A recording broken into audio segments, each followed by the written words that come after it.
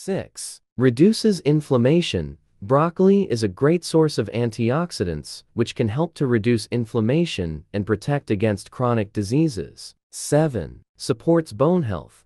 Broccoli is rich in calcium and vitamin K, two nutrients that are essential for maintaining strong bones. 8. Helps with weight management.